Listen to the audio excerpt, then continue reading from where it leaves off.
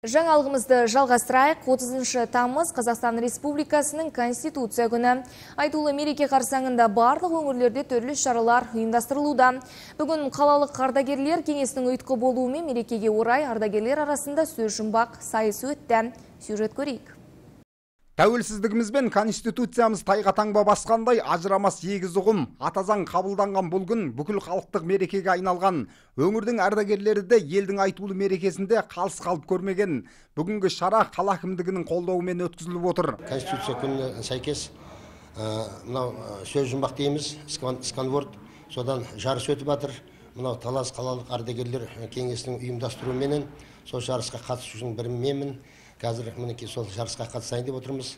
Жарысқа қатысқандар барлықтарыңызға сәттілік тілеймін. Алла жар болсын сайысқа белсенді алты ардагер қатысып біліктілігін бәске салды. Мұндағы мақсат ардагерлердің қоғамнан тысқары қалмауына назар аударып түрлі шаралар арқылы олардың басын біріктіріп отыру. Сондай ақ белсенді өмір сүру бағдарламасы аясында салауатты өмір салтын насихаттау. Қазақстан республикасының ата заңы конституция күніне байланысты осы жылда дәстүрге айналған біз зияткерлік ойындар өткіземіз. Бұны енді басында ойлағанбыз қалай болады екен не қылады екен деп сөйтсек өте үлкен қолдау тауып отыр халықтың арасынан. Былтырғы жылда үлкен қызықты болып тартысты болып өтті. Жылдан жылға қатысқысы келетіндер көбейіп келе жатыр мінекей ертеңгі үлкен мереке.